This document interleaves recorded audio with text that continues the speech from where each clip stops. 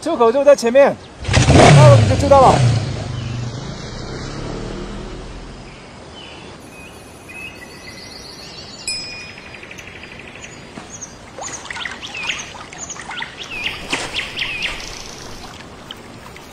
哎，这是什么？哦，哎，树枝上长得虚虚的。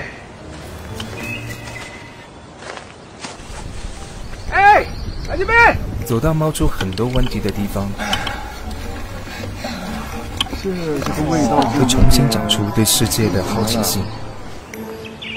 到了自然，找到好奇心的出口。走，带你去我家转转。哎，你家在哪儿？大自然就是我家呀。